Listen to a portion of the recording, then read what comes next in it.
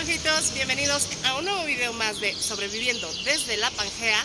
Soy tu amiga Olivar y el día de hoy quiero mostrarte un poco de mi ciudad. Aquí tenemos el Estadio Tlahuicole y ahora lo han remodelado, entonces vamos a mostrarles una parte por afuera porque no voy a entrar. Este estadio se construyó en 1958 y fue terminado en 1961. Desde entonces lleva varias remodelaciones, mejorando el estilo de este lugar. Aquí tenemos la puerta 5, puerta 6 y puerta 7 si quieren venir en la zona baja. Para cuando vengamos a un concierto ya sabemos por dónde entrar.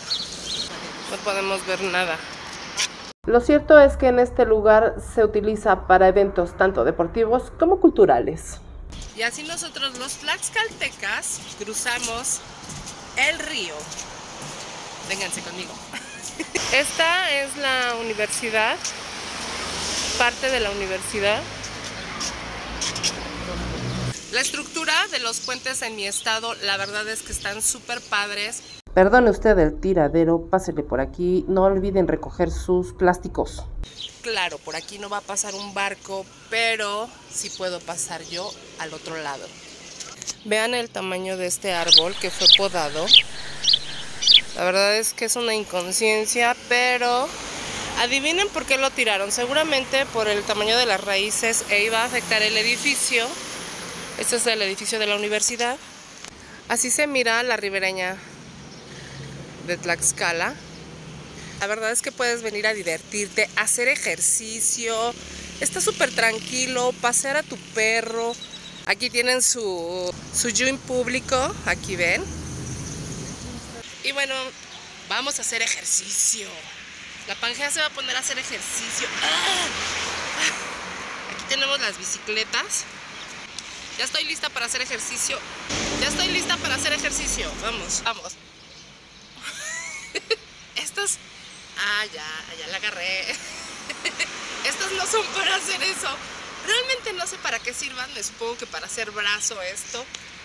Yo quería pedalear, pero pues... No se puede, no se puede. Así no se puede. Y pues ya, como esas bicicletas no tenían para pedalear, me tuve que ir caminando para bajar los tamales que me había desayunado esta mañana.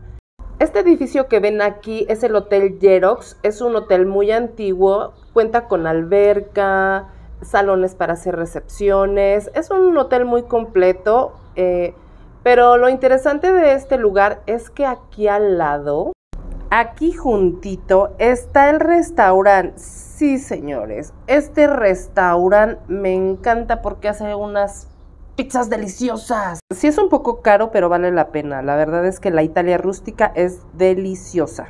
Y para no entrar en cargo de conciencia de haber comido tanta pizza, aquí está el gym para que vengas a bajar todo lo que te comiste. Pangeitos y pangeitas, hemos llegado al Jardín Botánico. Este lugar es increíble donde puedes venir a caminar con toda la tranquilidad del mundo. Este lugar fue construido en 1989 y cuenta con más de 3.000 especies de los cinco continentes. Aquí vamos a encontrar especies muy comunes, pero también vamos a encontrar plantas que están en peligro de extinción.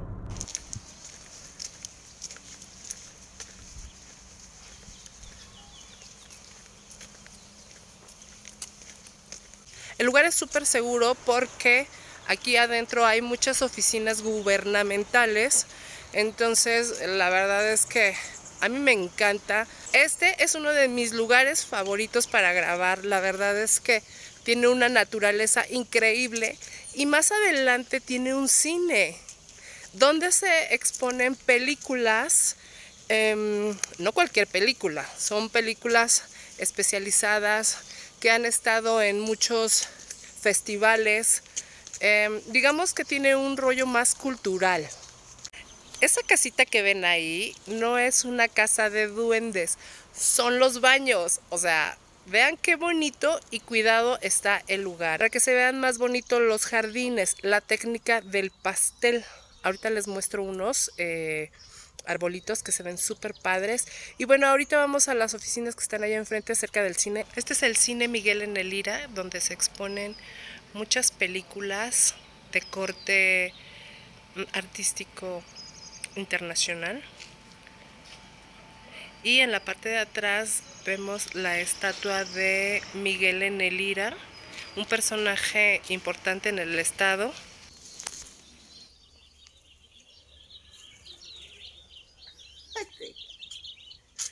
Definitivamente las oficinas de este lugar tienen un cuidado muy específico. Vean, aquí tenemos un sinfín de variedad de flora y fauna. La verdad es que es increíble venir a caminar en este espacio. Aquí se encontraba una cafetería muy interesante, pero ya no está. en esa cafetería podías encontrar eh, muchísimos libros y también exponían películas. Vean la parte del edificio, esa es la parte trasera del cine. Vean este jardín botánico Ahorita vamos al invernadero porque tiene su invernadero aparte de, este super bosque. De este lado hay un lugar donde puedes eh, comer. Miren, el espacio tiene cabañitas donde puedes sentarte a comer, a disfrutar una carnita asada con tus amigos. Hay varias cabañitas, ¿ya vieron? Eh, para poder hacer convivios. Es súper tranquilo, es súper seguro. Angelitos, este lugar está súper increíble. Aquí pueden sacarse una fotografía para cuando se casen, para unos 15 años, una graduación. La verdad es que este mundo es súper mágico. Aquí tenemos, aquí tenemos las ranitas. Este puente es encantador. Ya me vi en mi boda, en mi próxima boda, pasando por este arco. Tan, tan,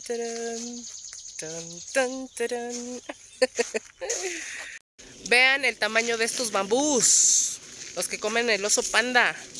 Y nos encontramos, miren nada más, este es el invernadero. Aquí se guardan especies eh, distintas. Qué bonito está este lugar, ve. Creo que no tuvimos suerte, está cerrado, pero vean, la parte de ahí se supone que hay especies distintas. En este lugar se respira paz, tranquilidad. Vean, desde aquí afuera se los enseño. Vean, está cerrado. Yo creo que les falta darle un poco de mantenimiento a este lugar, pero es increíble de todos modos, no deja de ser increíble. Y bueno, esta es otra parte de aquí del... Vean esta enredadera. Yo me acuerdo que hace muchos años la verdad es que estaba muy bonito el lugar. Miren, a lo lejos se ven las cabañitas donde se puede uno ir a echar sus carnes asadas. Yo te recomiendo que si vas a venir a este lugar a caminar, lo cuides, no tires basura. Eh, la verdad es que es súper tranquilo, hay cuidadores. Miren, esta es una especie. A mí que me encantan las plantas. La verdad a mí me encantan las plantas, entonces sí le sé un poco. No, no soy experta, pero sí le sé. Miren, aquí tenemos romero, eh, lavanda, citronela. La citronela es muy buena para los moscos, ¿eh? O sea, esta sí se la recomiendo. Esa citronela. ¿Quién no viene a abrazar a un árbol siempre? A ridícula que siempre abraza los árboles, ¿no? Cuidan a las lagartijas, a los pajaritos. No sé, hay un sinfín de, animalitos aquí. Vean esto. Cada planta tiene un porqué y un para qué. Entonces, hay que cuidar las especies. Caminando por el bosque, adivinen lo que me encontré. Sí, pangeitos y pangeitas. Una familia de hongos champiñones mushrooms. Si te gustó este video no olvides suscribirte, darle like, darle click en la campanita, no olvides compartirlo y nos vemos en el próximo video.